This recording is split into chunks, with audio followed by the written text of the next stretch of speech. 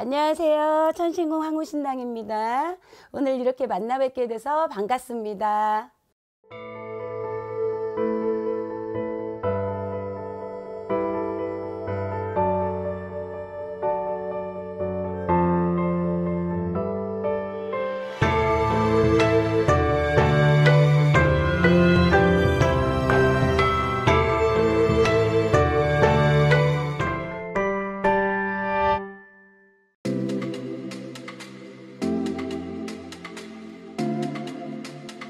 2020년 경자년 또 2021년 신축년은 어, 올해는 흰 쥐에띠였고요. 내년에는 흰 소에띠입니다.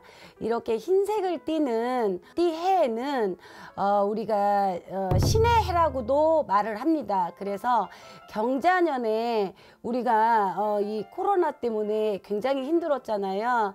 어떻게 보면 천상에 계신 신령님들이 굉장히 화가 많이 나 있는 그러한 해라고도 볼 수가 있어요. 올해 경자년 하반기를 보면은 하반기라고 해서 우리가 코로나가 일시적으로 멈출 수 있는 상황은 아닙니다. 어, 나만 아니면 된다는 생각을 버리시고 여러분들이 다 같이 동참을 하셔야만이 우리가 이 위기를 극복할 수 있어요.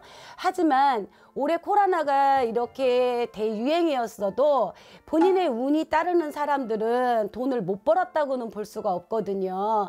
이제 하반기에 제가 볼 때는 음력으로 10월, 11월, 12월이 가장 지금 조심을 해야 되는 그러한 달로 봅니다. 미리 우리가 조심해서 나쁠 건 없잖아요. 지금 나라 경제나 나라의 운으로 봤을 때 뭐 나라에 삼재가 들었다고도 말씀하시는 분들도 있는데 내년에 이제 신축년 1월, 2월, 3월에 조금씩 회복이 되면서 제자가 볼 때는 음력으로 5월, 6월이 지나가면은 평상시의 기운으로 되돌아올 수 있거든요. 경제도 많이 활발해지실 거고 그래서 어, 우리나라 내년 신축년 구군으로 봤을 때는 우리나라는 단합심이 좋잖아요. 그래서 여러분들이 어, 힘을 합치셔서 이제 이 코로나 극복만 잘 하시면 내년 하반기에는 굉장히 경제 활동도 좋고 금전의 운도 좋고 하시는 일마다 다들 대박 나시는 기운이 있습니다.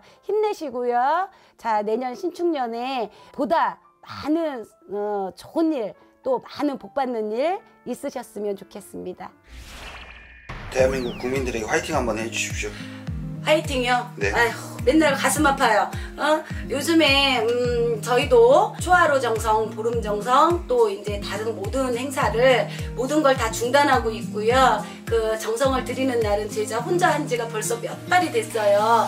자, 대한민국 국민 여러분 힘내세요. 화이팅!